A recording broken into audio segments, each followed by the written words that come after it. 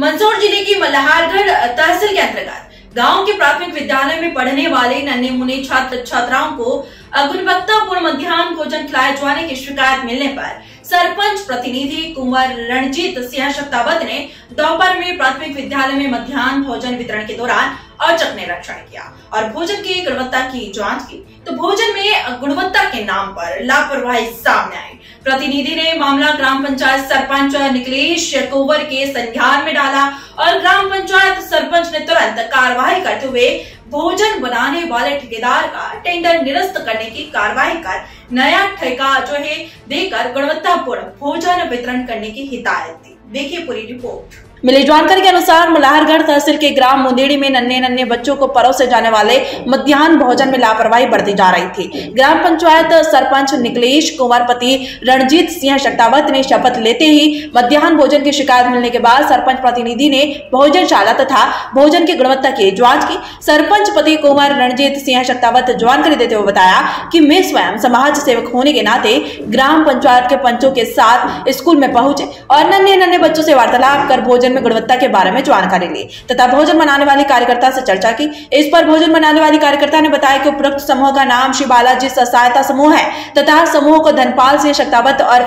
कुलदीप सिंह, पिता श्रीपाल सिंह और मुन्ना सिंह शक्तावत के द्वारा संचालित किया जा रहा है और उनके द्वारा मुझे कम तेल डालने, कम मिर्ची डालने, कम हल्दी डालने, कम मसाला डालने, कम भोजन बनाने तथा नियमानुसार भोजन नहीं बनाने हेतु बोला जाता है। मैं क्या कर सकती हूँ? इस पर सरपंच महोदय ने तुरंत संज्ञान लेते हुए ऐसे लोगों से मध्यान्ह भोजन के समूह को निरस्त कर गरीब महिलाओं को कार्य दिया गया।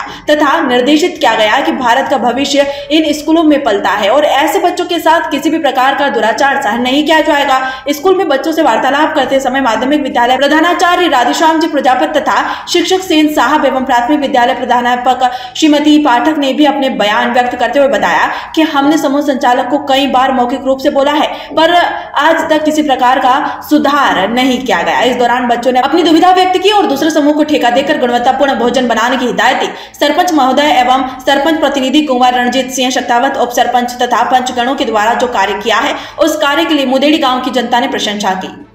ये जो भोजन आप मध्यान्ह भोजन कर रहे हो, ये अच्छा लग रहा है अच्छा नहीं लग रहा है? अच्छा नहीं लग रहा। इसमें तेल भी नहीं है। नहीं है ना? है तेल। और ये चावल क्या मिले हुए, मसाले के साथ मिले हुए कि बिल्कुल मिले हुए नहीं? नहीं मिले हुए आप लोगों को भोजन अच्छा नहीं लगता है। क्योंकि अच्छा बनता ही नहीं। है ना? अगर अच्छा भोजन मिलेगा तो इस स्कूल की संख्या बढ़ेगी ना। है ना? संख्या बढ़ेगी ना। तो फिर ये अच्छा भोजन नहीं दे रहे हैं तो आप लोगों को कहना चाहिए ना बेटा। है? बात करना चाहिए। मार साहब से कहते हो? मार साहब क्या करते हैं फिर? फिर सर क्या करे? सर वहाँ आगे कहते हो वहाँ कोई सुनता ही नहीं। है ना? स्कूल में खाना बनना चाहिए यहाँ सारी व्यवस्था है ये खाना जो है प्राथमिक विद्यालय में बन रहा है, है हमारा कहना यही है कि यहाँ सारी सुविधा है तो यहाँ खाना बनना चाहिए। तो जो भी समूह है वो यहाँ भोजन यहाँ बना है। भाई माध्यमिक विद्यालय का जो भोजन है वो प्राथमिक शाला में बन रहा है अभी।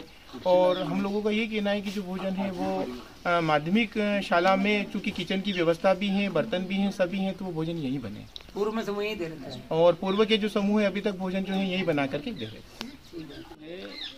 ये भोजन जो है यहाँ पर जो बच्चियाँ और ये जो स्टूडेंट भोजन कर रहे हैं इसका हमने भी इस भोजन को ग्रहण किया है और हमने इसमें महसूस किया है। न तो इसके अंदर तेल है न इसके अंदर नमक है न इसके अंदर मसाला है। और इस भोजन को ये बच्चे कैसे ग्रहण कर रहे हैं, मैं अचुंबित हूँ। मैं भगवान से प्रार्थना करता हूँ, इस प्रकार का भोजन देने वाले लोगों को भगवान अपनी तरफ़ से कड़ी से कड़ी सजा दे। दूसरी चीज़ मैं एक निवेदन और कर रहा हूँ कि जब भोजन की व्यवस्था सब यहाँ पर है तो यहाँ से एक किलोमीटर दूर भोजन बना के और फिर यहाँ ला रहे हैं। ऐसा क्यों? भोजन यही बनना चाहिए बच्चों को यही भोजन करवाना चाहिए। और जब टीचर्स लोग अगर कोई समस्या बोलते हैं तो समस्या को सुनना चाहिए।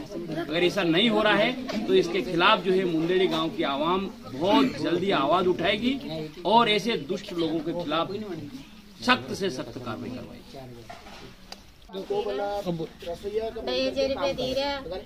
बाद रसोई बिल्कुल कम डाल। लो तो मैं तेल इतने डालती हूँ वो कहते हैं जितने में तेल डाल। वो समूह वाले बोल रहे नाम है ना उसका? हाँ कुलदीप बेगम मैं तो नाम से नहीं हाँ, तो वो क्या कहते हैं कि नमक भी कम डालो मिर्ची भी कम डालो और तेल भी कम डालो? तेल तो बिल्कुल कम डाल रही ना सर तेल तो बिल्कुल कम डाल। लो सरपंच हमारी पत्नी जब बनी और शपथ लेने के बाद में शिकायतें लगातार आई रही थी कि मध्यान्ह भोजन में जो है भोजन की गुणवत्ता के साथ में खिलवाड़ किया जा रहा है। और वहाँ के कुछ दबंगों के द्वारा जो है भोजन का जो समूह लिया हुआ था। और उन दबंगों के सामने शिक्षकों की और प्रधानाचार्य की भी नहीं चल पा रही। थी प्रधानाचार्य जी ने और माध्यमिक विद्यालय की प्रधानाचार्य और मिडिल स्कूल की प्रधानाचार्य उन लोगों ने सबने शिकायत की, लेकिन कोई सुनने के लिए तैयार नहीं था। तो हमारी पत्नी ने हमको बोला कि आप जाइए, क्योंकि हम सरपंच प्रतिनिधि हैं। और सरपंच प्रतिनिधि होने के नाते मैं तथा सहायक सचिव एवं कुछ आ, हमारे पंचों के साथ में हम लोग जो है वहाँ पहुँचे स्कूल में। जब स्कूल में देखा गया कि जब भोजन इस कंडीशन में था उसको जानवर भी ग्रहण नहीं कर सकते। भोजन के चावल को जब देखा गया तो लड्डू फूटा उसमें निकला सफ़ेद सफ़ेद चावल निकले। उनके साथ में मसाला भी मिलिन नहीं था। तो ऐसी कंडीशन में हमने जहाँ भोजन बनाने वाली महिला थी उससे पूछताछ करी तो उस महिला ने कहा कि मुझे ऐसा ही निर्देशित किया गया है कि भोजन कम बनाना है और उसको इसके अंदर मसाला और तेल वगैरह कुछ डालना ही नहीं है। तो ऐसी कंडीशन में जब जहाँ भारत का निर्माण होता है भारत का भविष्य बनता है जहाँ से वैज्ञानिक का, का निर्माण होगा जहाँ पर आयुध निर्माण करने वाले बच्चे पैदा होंगे। ऐसे बच्चों के साथ में ऐसे भारत के भविष्य के साथ में जो है खिलवाड़ हो रहा था। उसको देखते हुए हमारी धर्मपत्नी ने तुरंत निर्णय लिया और निर्णय लेकर जो है जो समूह चला रहे थे दबंग लोग जिनकी दादागिरी चलती है ऐसे लोग जो है समूह चला रहे थे गाँव में। उनसे समूह तुरंत लिया गया और गरीब महिलाएँ हैं जो दोनों महिलाएँ हैं गरीब हैं गरीबी रेखा के नीचे जीवन यापन करती उन महिलाओं को एक काम दिया गया है।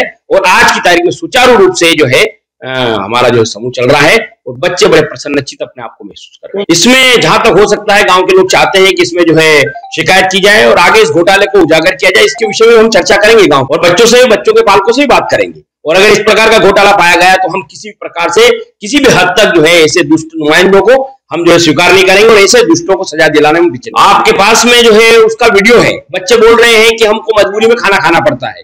और जब हमने बच्चों से पूछा कि आपको अच्छा भोजन मिलेगा तो क्या यहाँ पे बच्चों की संख्या बढ़ेगी? तो बच्चों ने कहा, अवश्य ही संख्या बढ़ेगी। लेकिन जब भोजन ही अच्छा नहीं मिलता है तो फिर संख्या कैसे बढ़ेगी और बच्चे कैसे पढ़ पाएँगे? ऐसी कंडीशन में बच्चों ने अपनी अपनी व्यथाएँ व्यक्त की कि हम खाना कैसे खाते हैं, हम जानते हैं और भूख के कारण हम स्कूल भी नहीं जाते।